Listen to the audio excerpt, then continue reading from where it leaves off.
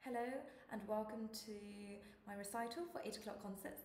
My name is Nurry Lee and I am a 24 year old pianist from South Korea and the UK. And I will be playing two works for you. One of them is a piece called La Campanella by Franz Liszt. And this is actually going to be my first performance of the work as it's a fairly new one. I started learning towards the end of lockdown. And the other piece is a piece, it's Tchaikovsky's Nutcracker Suite. And of course, it's a ballet and written for orchestra. But a pianist called Mikhail Pletnev has made an arrangement for solo piano. So I'll be playing those. So I hope you enjoy it and I look forward to reading your comments afterwards.